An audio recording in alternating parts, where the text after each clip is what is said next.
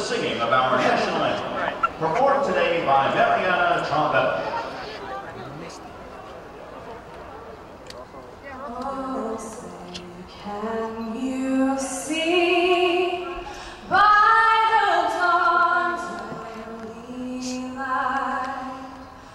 so proud.